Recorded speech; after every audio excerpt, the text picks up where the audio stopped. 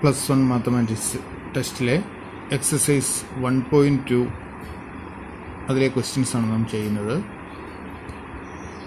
ഒന്നാമത്തെ question which of the following are examples of the null set നമുക്കറിയാം null set അല്ലെങ്കിൽ empty set അല്ലെങ്കിൽ void set എന്ന് പറഞ്ഞാൽ ഒരു എലമെന്റ് പോലും ഇല്ലാത്ത സെറ്റുകളെയാണ് നമ്മൾ നൾ സെറ്റ് എന്ന് വിളിക്കുന്നത്.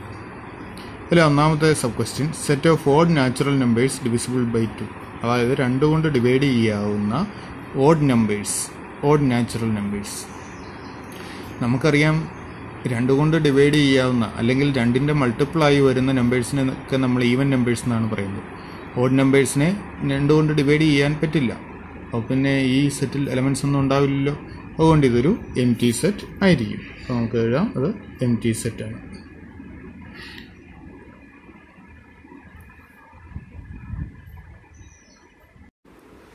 രണ്ടാമത്തെ ക്വസ്റ്റ്യൻ ഇതാണ്. Set of even prime numbers prime നമ്പേഴ്സിന്റെ സെറ്റിനെ കുറിച്ച് നമുക്കറിയാം. അതിലെ ഈവൻ പ്രൈം നമ്പർ ഈവൻ ആയിട്ടുള്ള ഒരു പ്രൈം നമ്പറേ ഉള്ളൂ. അതായത് ടു ആണ്. ടുവിന് ശേഷമുള്ള പ്രൈം നമ്പേഴ്സ് എല്ലാം ടുവിനേക്കാൾ വലിയ പ്രൈം നമ്പേഴ്സ് എല്ലാം ഓഡ് നമ്പേഴ്സാണ് അപ്പോൾ ഈ സെറ്റിൽ ഒരേ ഒരു എലമെന്റേ ഉണ്ടാവുള്ളൂ. അത് ടു ആണ്. അപ്പോൾ given set equal to set two ഇങ്ങനെ ഒരു എലമെന്റ് മാത്രമുള്ള സെറ്റിനെ സിംഗിൾട്ടൺ സെറ്റ്സ് എന്നാണ് പറയുന്നത്. ഓർത്തിരിക്കുക. സെറ്റ് ടു ഇത് എം ടി സെറ്റ് അല്ലല്ലോ. ഒരു എലമെന്റ് ഉണ്ട്. ടു എന്നൊരു എലമെന്റ് ഉണ്ട്. നമുക്ക് എഴുതാം. Not an empty set മൂന്നാമത്തെ question set of all x that x is a natural number x less than five and x greater than seven അതായത് natural നമ്പറാണ് ഈ സെറ്റിലുള്ള എലമെൻസ് ഒക്കെ നാച്ചുറൽ നമ്പറാണ് അഞ്ചിനേക്കാൾ ചെറുതും ഏഴിനേക്കാൾ വലുതുമാണ്. അപ്പോൾ ഒരു നമ്പറിനും ഒരേ സമയം അഞ്ചിനേക്കാൾ ചെറുതും ഏഴിനേക്കാൾ വലുതും ആകാൻ പറ്റില്ല. അഞ്ച് x less than five and x than seven എന്നാണ്. അതായത് എക്സ് അഞ്ചിനേക്കാൾ ചെറുതുമാണ്. അതേസമയം തന്നെ എക്സ് ഏഴിനേക്കാൾ വലുതുമാണ്. അങ്ങനെ ഒരു എലമെന്റ് എക്സിസ്റ്റ് ചെയ്യാൻ പറ്റില്ലല്ലോ. അപ്പോൾ ആ അതുകൊണ്ട് തന്നെ ഈ സെറ്റിൽ എലമെന്റ് ഒന്നും ഉണ്ടാവില്ല. അതുകൊണ്ട് ഇത് എം ടി സെറ്റ് ആയിരിക്കും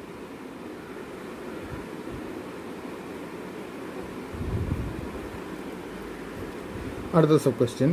Set of all y such that y is a point common to any two parallel lines രണ്ട് പാരലൽ ലൈൻസിന് കോമൺ ആയിട്ടുള്ള പോയിന്റ് നമുക്കറിയാം രണ്ട് പാരലൽ ലൈൻസ് എന്ന് പറഞ്ഞു കഴിഞ്ഞാൽ എന്താണ്? ഇതേ രീതിയിൽ പരസ്പരം കൂട്ടിമുട്ടാതെ പോകുന്ന ലൈൻസിനെയാണ് അവർ തുല്യ അകലത്തിൽ പോകുന്ന ലൈൻസിനെയാണ് പാരലൽ ലൈൻസ് എന്ന് പറയുന്നത്.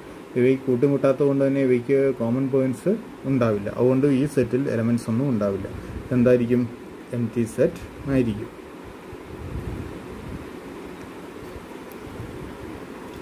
എക്സസൈസ് വൺ പോയിന്റ് ടുവിലെ രണ്ടാമത്തെ question which of the following sets are finite or infinite തന്നിരിക്കുന്ന സെറ്റുകളിൽ ഫൈനൈറ്റ് ഏവ ഇൻഫിനിറ്റ് ഏവ?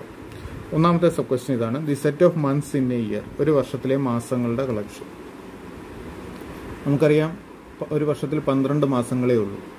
അതുകൊണ്ട് തന്നെ ഇതൊരു നിശ്ചിത എണ്ണം മാസം നിശ്ചിത എണ്ണം എലമെന്റ്സേ ഈ സെറ്റിലുള്ളൂ അതുകൊണ്ട് ഇത് ഒരു ഫൈനൈറ്റ് സെറ്റാണ് ഇപ്പം എന്തെഴുതാം? ഫൈനൈറ്റ് സെറ്റ്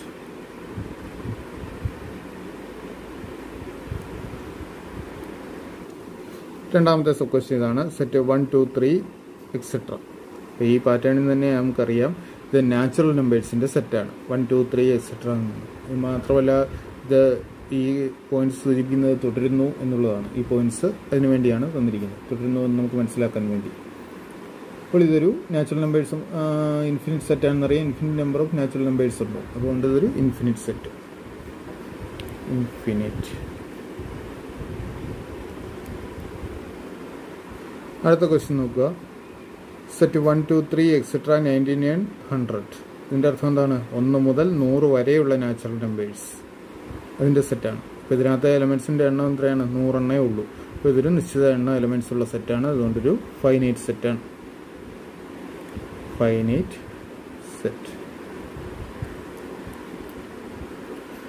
നാലാമത്തെ sub question the set of positive integers greater than hundred നൂറിനേക്കാൾ വലിയ പോസിറ്റീവ് ഇൻഡിജേഴ്സിന്റെ സെറ്റ് നൂറിനേക്കാൾ വലിയ പോസിറ്റീവ് ഇൻഡിജേഴ്സ് അത് നൂറ്റൊന്ന് നൂറ്റി രണ്ട് നൂറ്റി മൂന്ന് ആ രീതിയിൽ അങ്ങ് കണ്ടിന്യൂ ചെയ്യുകയാണ്. ഇൻഫിനിറ്റ് നമ്പർ ഓഫ് എലമെന്റ്സ് ഉണ്ടാവും. ഇപ്പോൾ ഈ സെറ്റിൽ ആ നമ്പേഴ്സ് അവസാനിക്കുന്നില്ല. അതുകൊണ്ട് ഇൻഫിനിറ്റ് നമ്പർ ഓഫ് മെമ്പേഴ്സ് ഉണ്ടാവും. അതുകൊണ്ട് ഇതൊരു ഇൻഫിനിറ്റ് സെറ്റാണ് ഇൻഫിനിറ്റ് സെറ്റ്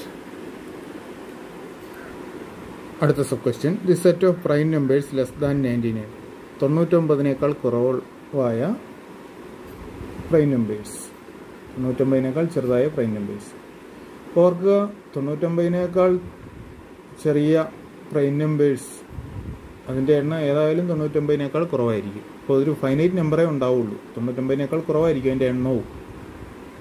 അത് ഓർക്കുക അപ്പോൾ ഒരു ഫൈനൈറ്റ് നമ്പറേ ഉള്ളതുകൊണ്ട് നമുക്ക് കൃത്യമായിട്ട് എത്ര എണ്ണം ഉണ്ടാവണമെന്ന് ഇവിടെ അറിയേണ്ട കാര്യമില്ല. ഇത് ഫൈനൈറ്റ് ആണോ ഇൻഫിനിറ്റ് ആണോ എന്ന് പറയാൻ ഒരു നിശ്ചിത എണ്ണം മാത്രമേ ഉള്ളോ എന്ന് നമ്മൾ അറിഞ്ഞിരുന്നാൽ മതി. തൊണ്ണൂറ്റൊമ്പതിനേക്കാൾ കുറവായ പ്രൈം നമ്പേഴ്സിന്റെ തൊണ്ണൂറ്റൊമ്പതിനേക്കാൾ ചെറിയ പ്രൈം നമ്പേഴ്സിന്റെ എണ്ണം ഏതായാലും തൊണ്ണൂറ്റൊമ്പതിനേക്കാൾ കുറവായിരിക്കും. അപ്പോൾ അതുകൊണ്ട് ഒരു ഫൈനൈറ്റ് നമ്പർ ഓഫ് ടേംസ് മാത്രമേ ഈ സെറ്റിൽ ഉണ്ടാവുള്ളൂ. അതുകൊണ്ട് ഇതൊരു ഫൈനൈറ്റ് സെറ്റാണ് ഇവിടെ ഈ സെറ്റിൽ കൃത്യമായിട്ട് എത്ര എലമെന്റ്സ് ഉണ്ടാവണം നമ്മൾ അറിയേണ്ട കാര്യം ഫൈനൈറ്റ് ആണോ ഇൻഫിനിറ്റ് ആണോ എന്നറിയാൻ ആവശ്യമില്ല.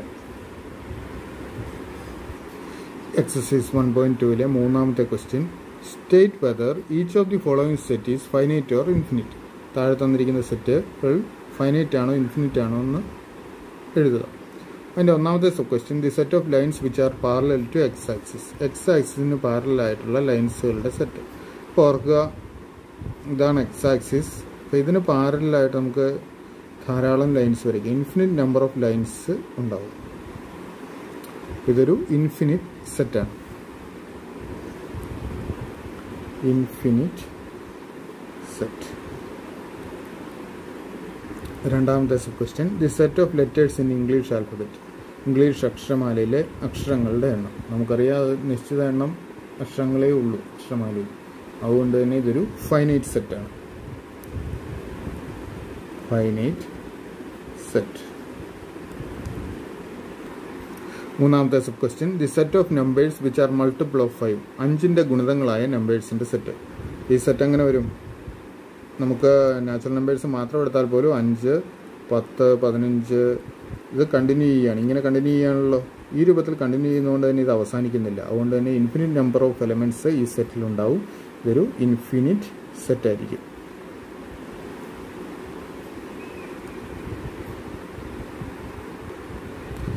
നാലാമത്തെ sub question the set of animals living on earth ഭൂമിയിൽ ജീവിക്കുന്ന മൃഗങ്ങളുടെ കളക്ഷൻ ഇപ്പോൾ ഓർക്കുക നമുക്ക് മനുഷ്യരുടെ കളക്ഷനിൽ ഭൂമിയിലെ മനുഷ്യരുടെ കളക്ഷൻ എന്റെ സെൻസസ് എടുക്കാറുണ്ട്. ലോകത്തിലെ എത്ര എണ്ണം മനുഷ്യരാണ് ജീവിക്കുന്നത്? മനുഷ്യരുടെ എണ്ണം കാൽക്കുലേറ്റ് ചെയ്യാറുണ്ട്. മൃഗങ്ങളുടെ എണ്ണം അതുപോലെ കാൽക്കുലേറ്റ് ചെയ്യാറില്ലെങ്കിൽ കൂടി ഒരു നിശ്ചിത എണ്ണം മൃഗങ്ങളെ ഉണ്ടാവുള്ളൂ എന്ന് നമുക്കറിയാം. ഇതൊരു ഫൈനൈറ്റ് നമ്പർ ആയിരിക്കും. അങ്ങനെ ഒരു സെൻസസ് നടക്കുകയാണെങ്കിൽ കിട്ടുന്നത് ഒരു ഫൈനൈറ്റ് നമ്പർ ആയിരിക്കും. അതുകൊണ്ട് തന്നെ ഈ സെറ്റിൽ ഒരു ഫൈനൈറ്റ് നമ്പർ ഓഫ് എലമെന്റ്സേ ഉണ്ടാവുള്ളൂ. അതുകൊണ്ട് ഇതൊരു ഫൈനൈറ്റ് സെറ്റാണ് finite set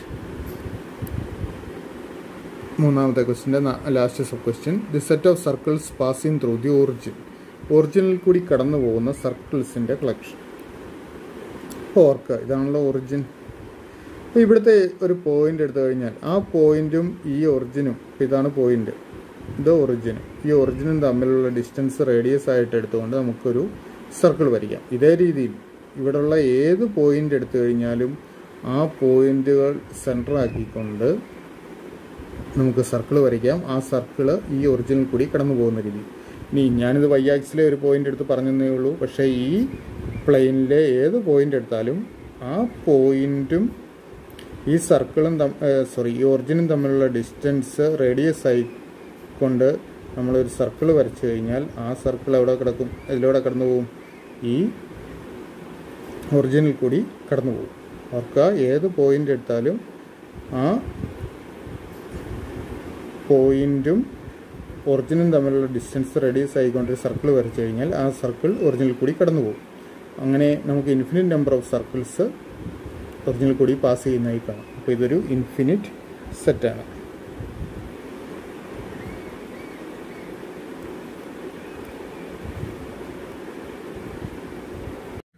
exercise one point ടുവിലെ നാലാമത്തെ question in the following state whether A equal to B or not താഴെ തന്നിരിക്കുന്നതിൽ എയും ബിയും ഈക്വൽ ആണോ എന്ന് അല്ലയോ എന്ന് എഴുതുക. ഒന്നാമത്തെ sub question A equal to set A B C D and B equal to set D C B A നമുക്ക് കാണാം എയിലുള്ള അതേ എലമെന്റ്സ് തന്നെയാണ് ബിയിലും ഉള്ളത്. എയിലും ബിയിലും ഒരേ എലമെന്റ്സ് ആണ്. അവരുടെ ക്രമത്തിന് മാത്രമേ എഴുതിയിരിക്കുന്ന ക്രമത്തിന് മാത്രമേ വ്യത്യാസമുള്ളൂ. അതുകൊണ്ട് തന്നെ എന്താണ്? എ ഈക്വൽ ടു ബി ആണ്. രണ്ടാമത്തെ sub question A equal to set four eight twelve sixteen and B equal to set eight four sixteen eighteen പെട്ടെന്ന് തന്നെ കാണാവുന്നതാണ്. ഈ ട്വൽവ് എന്നുള്ള എലമെന്റ് എയിലുണ്ട് പക്ഷെ ബിയിലില്ല എയിലും ബിയിലും ഒരേ എലമെന്റ്സ് അല്ലല്ലോ ഉള്ളത് എയിലുള്ള എല്ലാ എലമെന്റ്സും ബിയിലില്ല അതുകൊണ്ട് തന്നെ എയും ബിയും ഈക്വൽ അല്ല. A not equal to B ഇതിന്റെ റീസൺ വേണമെങ്കിൽ നമുക്ക് എഴുതാം. Twelve belongs to A but twelve not belongs to B മൂന്നാമത്തെ sub question A equal to set two four six eight ten and B equal to set of all x such that x is a positive even integer and x less than or equal ten day വളരെ വ്യക്തമാണ്. B നോക്കുക. B set builder ഫോമിലാണ് വന്നിരിക്കുന്നത്. നമുക്ക് B A roster ഫോമിൽ എന്ന് എഴുതിയാലോ? B equal to set നോക്കുക. X is a positive even integer and x less than or equal ten പത്തിനെ പത്തോ അതിൽ താഴെയോ ഉള്ള പോസിറ്റീവ് ഈവൻ ആണ്. അപ്പോൾ നമുക്ക് തുടങ്ങുന്ന പോസിറ്റീവ് ഇന്റിജർ തുടങ്ങുന്നത് രണ്ട് നാല് ആറ് എട്ട് പത്ത്. അപ്പോൾ എയും ബിയും എന്താണ്? ഈക്വൽ തന്നെയാണ്. എന്താ എഴുതാൻ answer A equal to B ആണ്. ഓക്കെ നാലാമത്തെ sub question A equal to set of x that x is a multiple of ten B equal to set of ten fifteen twenty twenty five T etcetera പെട്ടെന്ന് തന്നെ അറിയാം. ബിയിൽ പതിനഞ്ച് എന്നൊരു element ഉണ്ട്. ഈ പതിനഞ്ച് പത്തിന്റെ മൾട്ടിപ്പിൾ അല്ലല്ലോ. അതുകൊണ്ട് തന്നെ എയിലുണ്ടാവുമോ ഇല്ല. അപ്പോൾ നമുക്ക് എന്താ എഴുതാം? Fifteen belongs to B but fifteen not belongs to A therefore A not equal to B എയും ബിയും ഈക്വൽ അല്ല. എക്സസൈസ് വൺ പോയിന്റ് ടുവിലെ അഞ്ചാമത്തെ question. Are the following pair of sets equal? Give reasons. തന്നിരിക്കുന്ന താഴെ തന്നിരിക്കുന്ന പെയർ ഓഫ് സെറ്റ്സ് ഈക്വൽ ആണോ? അതിനുള്ള കാരണങ്ങൾ എഴുതാം. ഒന്നാമത്തെ ക്വസ്റ്റ്യൻ ഇതാണ്. A equal to set two three B equal to set of x x that x is a solution of x square plus five x plus six equal to zero അപ്പോൾ ഇതിനകത്ത് തന്നിരിക്കുന്നത് x square plus five x plus six equal to zero എന്ന ഇക്വേഷന്റെ സൊല്യൂഷനാണ് ഈ ബിയിലുള്ളത് നമുക്ക് ഇതിന്റെ solution കണ്ടുപിടിക്കണം. എന്നാലേ ബി എ റോസ്റ്റർ ഫോമിൽ എഴുതാൻ പറ്റുള്ളൂ.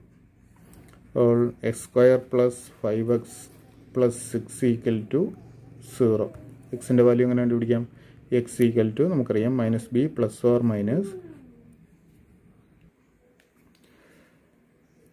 root of B square minus four A C by two A equal to ഇവിടെ എ എത്രയാണ്?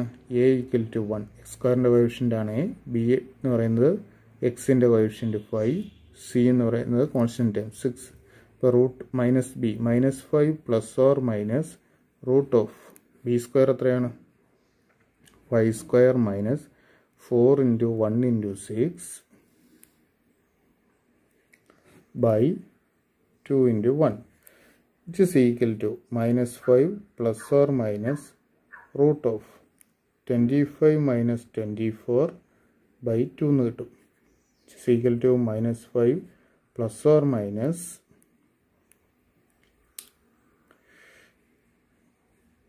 twenty four minus twenty four one അല്ലേ? അപ്പോൾ root of one one one by two അപ്പോൾ എക്സിന് രണ്ട് വാല്യൂസ് നമുക്ക് കിട്ടും. X equal to minus five plus one by two that's equal to minus 5 plus 1 minus 4 by 2 equal to minus 2 അടുത്തത് x equal to minus five minus one by two that's equal to minus six by two equal to minus three അപ്പോൾ എക്സിന് കിട്ടുന്ന രണ്ട് വാല്യൂസും minus ടൂവും minus ത്രീയും അതായത് ഈ ഇക്വേഷന്റെ സൊല്യൂഷൻ എന്ന് പറയുന്നത് മൈനസ് ടു മൈനസ് ത്രീയും അപ്പോൾ ബിയിലെ എലമെന്റ്സ് ഏതൊക്കെയാണ്?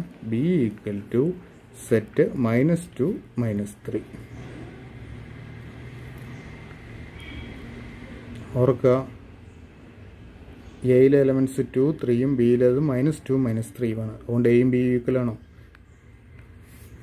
നമുക്ക് വേണമെങ്കിൽ എഴുതാം. Two belongs to A but two not belongs to B. Therefore, A not equal to B. ഇതുപോലെ വേറെ എലമെന്റ്സ് ഉണ്ട് അങ്ങോട്ടും ഇങ്ങോട്ടും പെടാത്തത്. ഓക്കെ അഞ്ചാമത്തെ ക്വസ്റ്റിന്റെ രണ്ടാമത്തെ സബ് ക്വസ്റ്റ്യൻ ഇതാണ് A equal to set of followers that x is a letter in the debate follow and B equal to set of all y such that y is a letter in the debate wolf നമുക്ക് എയും ബിയും ഒന്ന് roster ഫോമിൽ എഴുതി നോക്കാം. A equal to എന്ത് വരും? ഈ ഫോളോ എന്ന വേർഡിലെ ലെറ്റേഴ്സിന്റെ സെറ്റ് അപ്പോൾ ഒരു ലെറ്റർ ഒരു പ്രാവശ്യം എഴുതിയാൽ മതി എന്നുള്ള കാര്യം ഓർക്കുക. എഫ് ഒ എൽ വീണ്ടും എൽ ഒ കൊണ്ട് ഒരു പ്രാവശ്യം എഴുതി കഴിഞ്ഞു.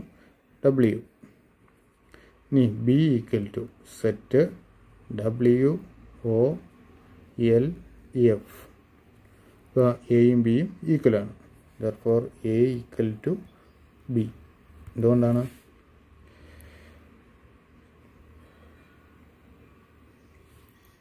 Same elements in both sets ഇവിടെ ഗിവ് റീസൺസ് പറഞ്ഞിട്ടുണ്ട്.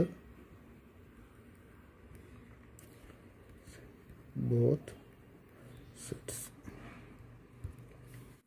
says one point ടുവിലെ അവസാന question sixth question from the sets given below select equal sets തന്നിരിക്കുന്ന സെറ്റുകൾ ഇതൊക്കെയാണ്. A equal to set two four eight twelve B equal to set one two three four C equal to set four eight twelve fourteen D equal to set three one four two then E equal to set minus one one F is equal to set zero A G equal to set one minus one H is equal to set zero one ഇപ്പോൾ ഇത് വളരെ പെട്ടെന്ന് തന്നെ നമുക്ക് മനസ്സിലാക്കാം.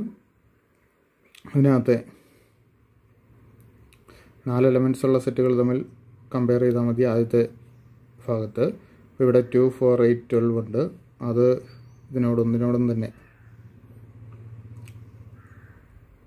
ഇവിടെ fourteen ഉണ്ട്. അപ്പോൾ ഇതിനോട് ഒന്നിനോടും തന്നെ ഈക്വൽ അല്ല.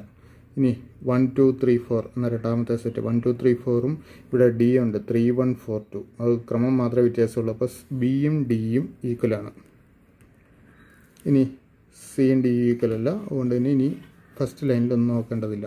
ഇനി സെക്കൻഡ് ലൈൻ നോക്കുക. സെക്കൻഡ് റോസിൽ മൈനസ് വൺ വൺ ഉണ്ട്.